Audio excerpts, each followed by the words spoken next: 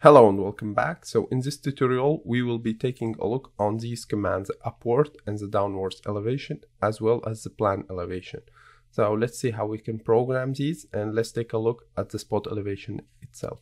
So when I click on this button, upwards elevation, we have an elevation that looks like this. Now this is following the Russian standard. Obviously you can make some modification. I will be showing you how you can modify the spot elevation at the end of this video but for the time being we'll be using the, these that I have already created. Okay I can hit the escape to escape of this command and then downwards elevation so just do something like this. And if I go to the plan view I can use this one as well. Now you can use these in an elevation as well but they don't look uh, good on elevations. They look best on plans. Okay so let's take a look on how you can do that. So without further ado let's get it going.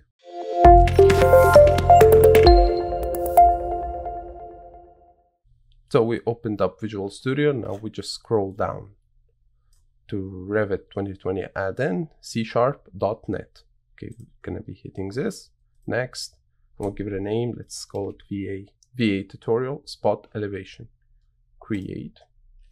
As you know, we need to create some modifications here before we can actually use this command. So I'll just put this on fast forward. You can watch some previous video to know exactly what we do right here.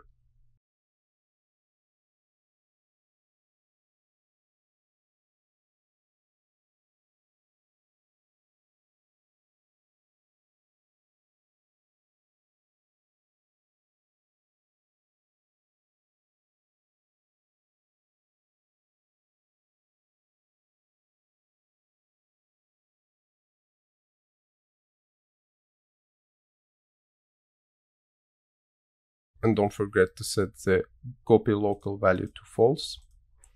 Now we can get started. So first I'll be deleting this. So first allow me to explain how this plugin actually works. So when we go to annotate and we click the spot elevation button, we have all of these elevations that I have created the target is the one that is loaded with Revit, but all of these are created by me. So we can use them right here. The same thing will happen. Now, what this command actually does is actually launch that command eh, that you see right here and setting the default spot elevation. So if I click on the spot elevation downwards, it will set the default as the VA downwards and then launch this command. If I click on the plan, it will set the VA plan as default and then launches the command. So to get this working on your machine, you will be actually needing all of these that I have created. Now I'll be showing you how you can copy it in the, into your project. I have created this project called VA Spot Elevations in Revit 2019. So if you have Revit 2019 or older, you can use this without any problems. These are the spot elevations that I have created. So how you can use them. First, you need to launch this file, this project right here, and then you can launch a new file or open up a project that you're working on in the meantime. So I'll be opening a new file. So I'll just go to File, New, Construction Architectural Template. Okay, so how you can copy these spot elevations from here to there. You can't just click on them and hit Control C and then hitting Control V. It will not work.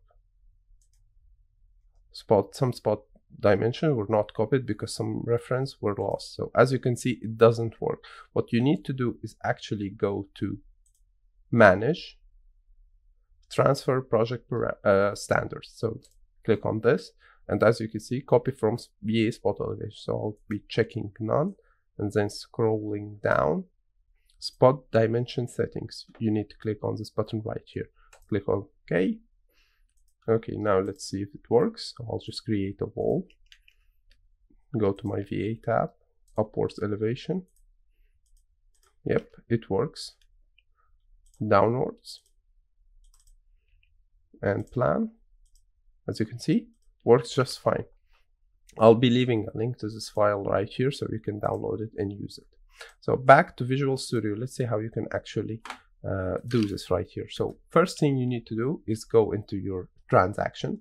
So we'll just name rename the transaction name to something like spot elevation downwards. Now, first thing we need to do is actually search for this right here, for this spot elevation. As you can see, it is called underscore VA underscore downwards. So we type in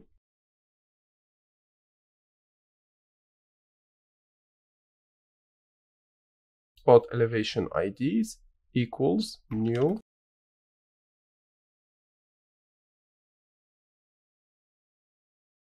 we've created a filtered element collector in the document of class and type of class spot dimension type. Now we just create an empty element.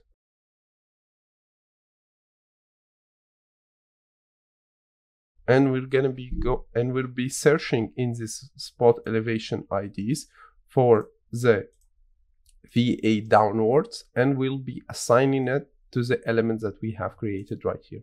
So I'm going to create a for, a for loop.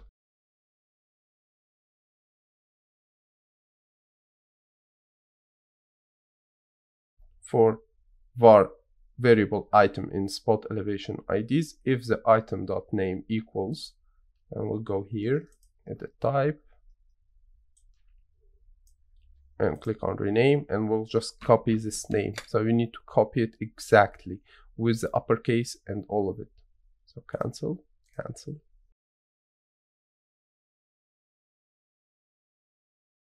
Spot elevation element equals item. Okay, go here. And now we just need to get the ID of this element right here. So element ID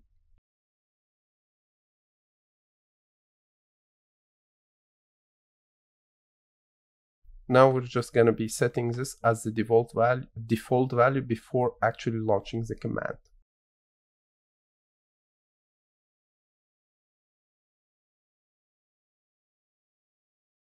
So document.set default element type ID of the element type group spot elevation type, the spot elevation ID.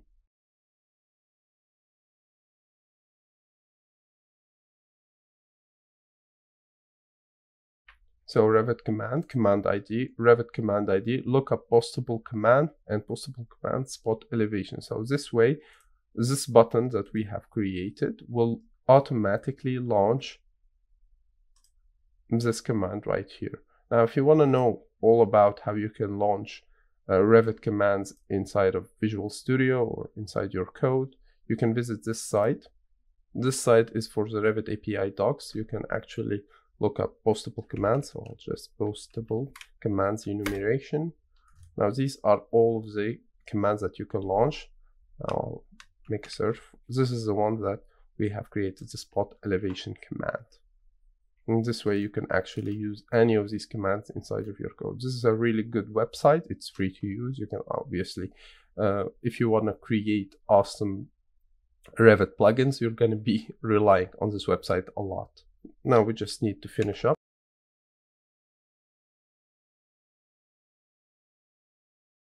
bool b UI app can post command, UI app post command, and command ID.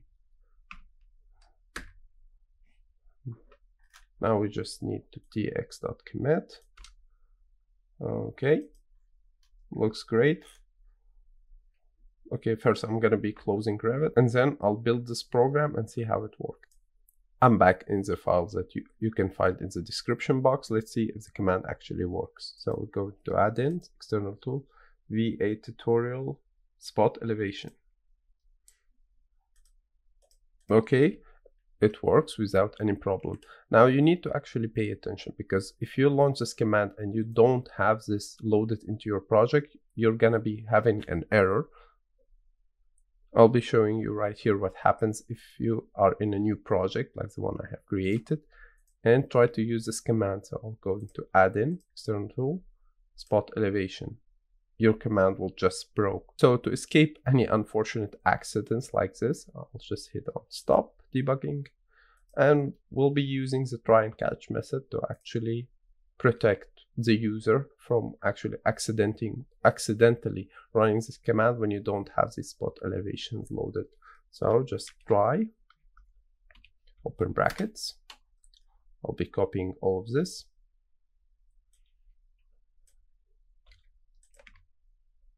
then catch task dialog dot show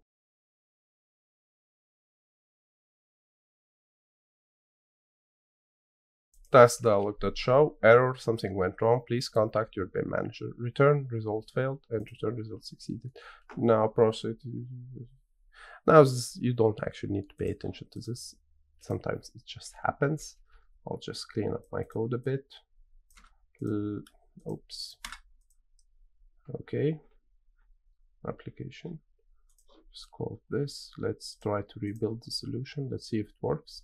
Okay, it succeeded. So you don't really need to pay attention for this red line that you see right here because the code that we tried to rebuilding the code and it works just fine. So let's relaunch the command. Now here we have a project that doesn't have this VA downward elevation loaded. You can see this. Go to spot elevation. We only have the ones that are loaded with Revit. So if I go into add-ins, external spot elevation. Okay, something went wrong. Why is it try and catch method didn't work? Let's see. So I'll just stop this right here. As you can see, I have launched Revit on its own without Visual Studio. And if I go to add-ins and external tool VA spot elevation, the try and catch method work. But if I launch Revit through Visual Studio, for some weird reason, it just fails and doesn't show me this command. VA tutorial, uh, VA tutorial spot elevation error, something went wrong, please contact your BIM manager. So as you can see, the method actually worked, but you need to launch Revit on its own. Now let's talk about these spot elevations and how you can actually modify them. So if I go into here, spot elevation VA upward, go to edit type, here I have the spot elevations that I have created. So I have up, down, and spot plane.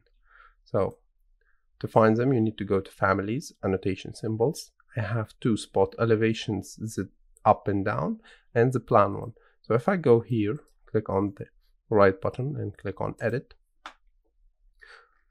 So as you can see, this is the spot elevations that I have created. I have two arrows. One is facing upwards, one facing downwards, and two boundaries. The, the boundaries you can check on the visibility. You can actually uh, do all kind of modifications to this uh, spot elevation families that I have created. And even you can go further and click on this arrow right here or this one doesn't really matter. Go to edit family. Now this is the one that I have created. As you can see, everything is parametric. You can obviously change whatever you want. And inside of this family, I have created all of these leader angle, leader lengths, and the arrow lengths, and the base height, which is this one right here and this one right here. And you can change them whatever you want, and you can obviously create your own if you want. You can experiment with this as much as you want. And I hope you enjoyed this video and if you like this video you can hit the like and subscribe button down there and see you in the next one.